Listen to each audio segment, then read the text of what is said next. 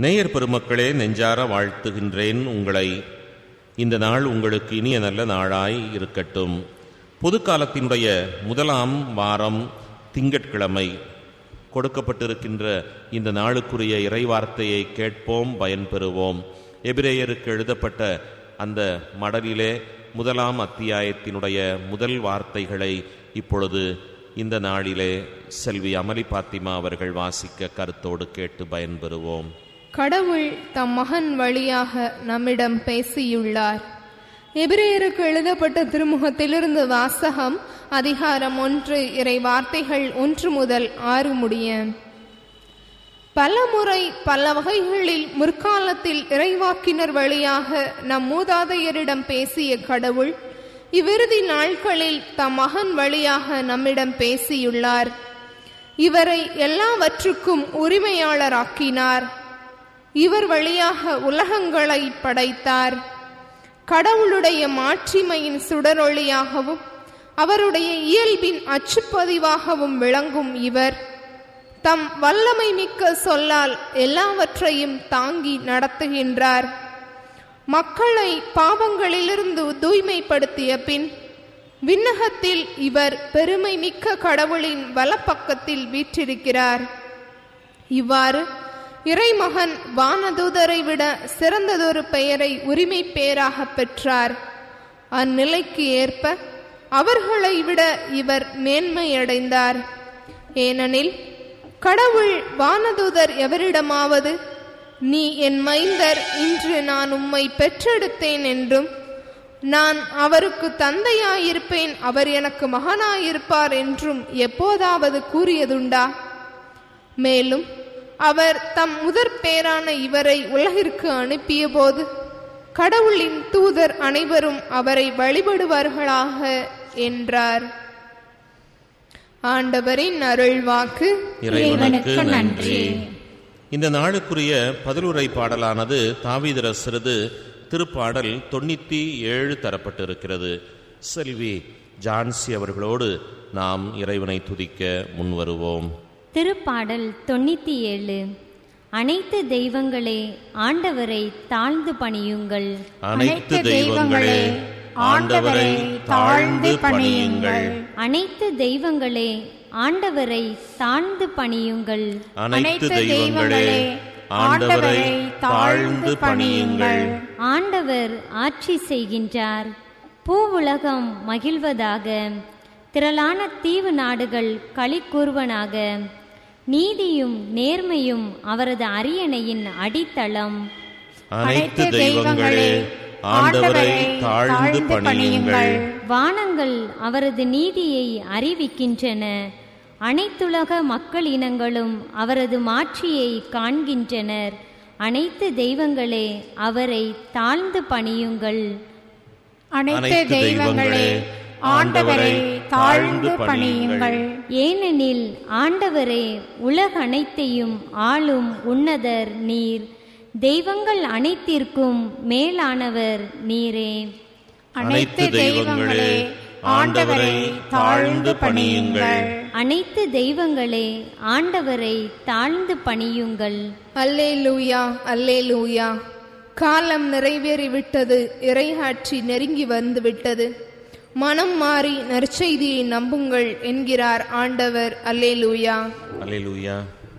ஆண்டவரை நற்செய்தியை தகுந்த விதத்தில் எடுத்துச் சொல்ல என் உள்ளத்தையும் உதட்டையும் தூய்மையாக்கும். ஆண்டவர் உங்களோடு இருப்பாராக. உம் ஆன்மாவோடும் இருப்பாராக. புனித மார்க் எழுதிய பரிசுத்த நற்செய்தியிலிருந்து வாசகம். ஆண்டவரே மார்க்கு நற்செய்தி ஒன்றாவது பிரிவு. வாக்குகள் பதினான்கிலிருந்து இருபது முடிய. யோவான் கைது செய்யப்பட்ட பின் கடவுளின் நற்செய்தியை பறைசாற்றிக் கொண்டே இயேசு கலிலையாவிற்கு வந்தார். காலம் நிறைவேறிவிட்டது இறையாட்சி நெருங்கி வந்துவிட்டது மனம் மாறி நற்செய்தியை நம்புங்கள் என்று அவர் கூறினார்.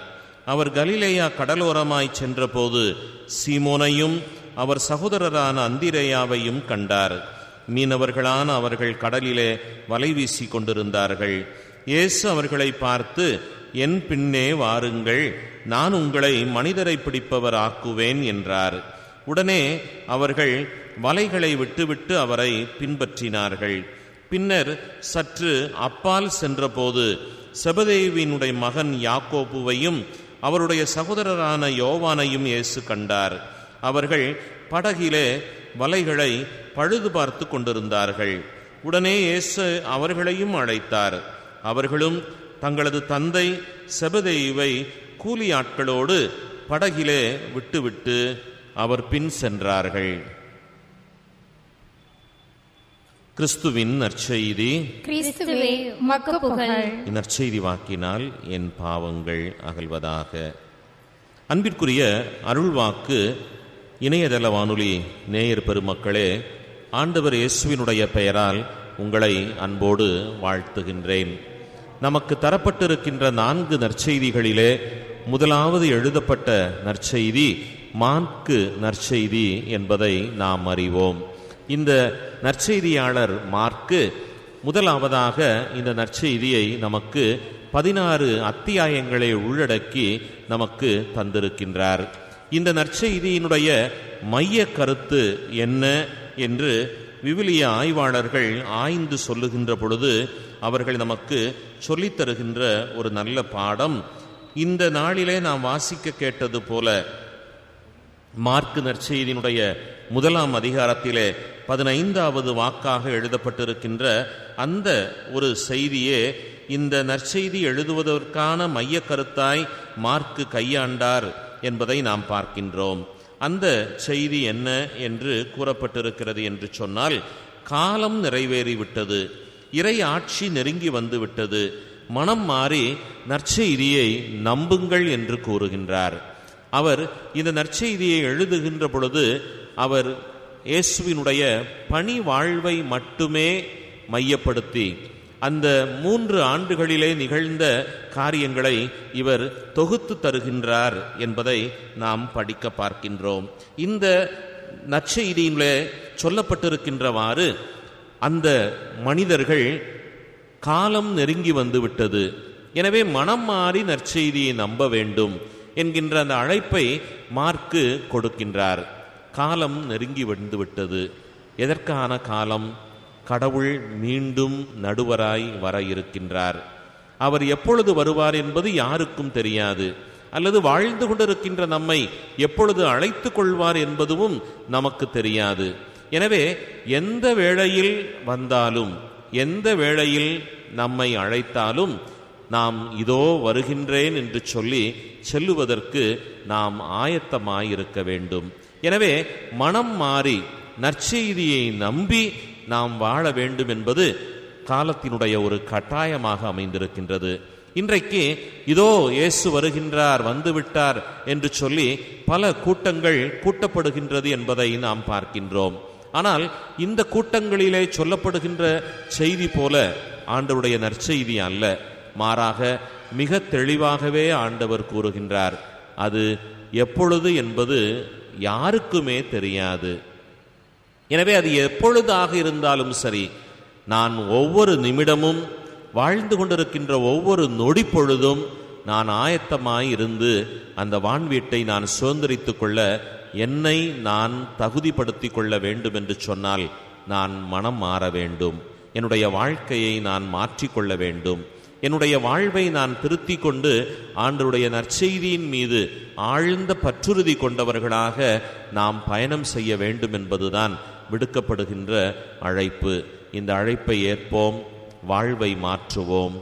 நற்செய்தியை நம்பி நாம் ஆண்டவருக்குள்ளாய் இணைந்த நிலையிலே எப்பொழுதும் இறப்பதற்கு ஆயத்தமாவோம் அருள் பெறுவோம். இணைந்திருந்து கேட்டு மகிழ்ந்து இறைவனை துதிக்க உங்களை அன்போடு அழைக்கின்றேன். ஆமென்.